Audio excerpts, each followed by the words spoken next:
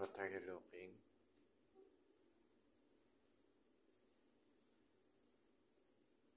Hindi ka ba pawis?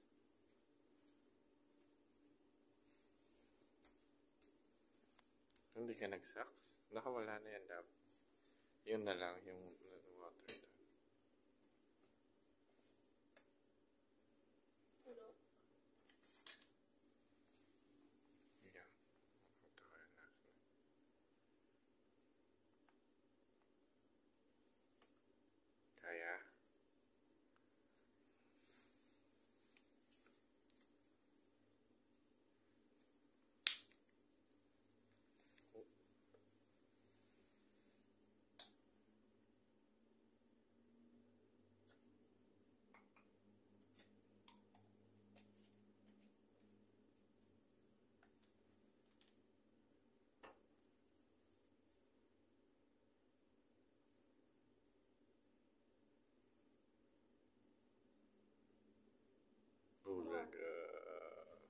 contentment in life.